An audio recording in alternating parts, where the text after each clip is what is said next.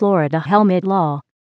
Florida helmet laws dictates that in order to ride without a helmet, one must meet two criteria an age of at least 21 years and an insurance policy that meets or exceeds 10,000 in medical benefits. To set this type of insurance up, you can contact either your medical or motorcycle insurance provider.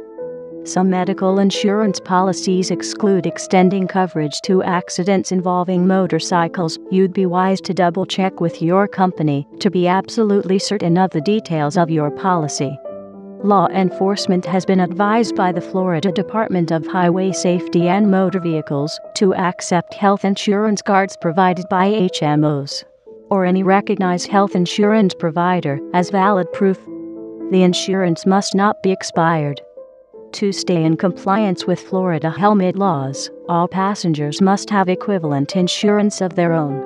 If you are on the motorcycle without a helmet, you must have valid proof of the aforementioned.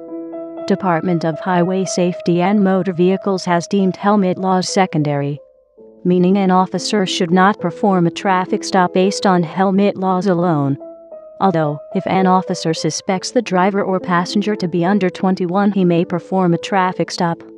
If stopped, a motorcycle operator will be asked for his motorcycle endorsement and proof that the motorcycle is properly registered and insured.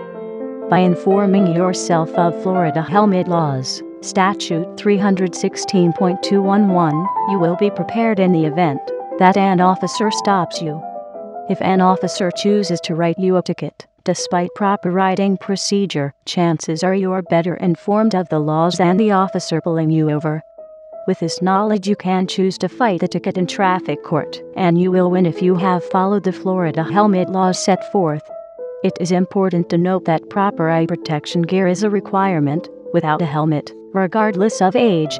And if you do decide to ride your motorcycle with a helmet, it must remain properly fastened anytime the vehicle is in motion.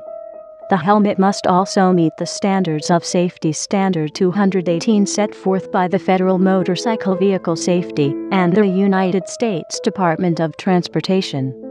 While the power of knowledge cannot guarantee a completely safe ride on every motorcycle ride, it will ensure the operator is well informed and educated of Florida helmet laws in the case of a traffic stop.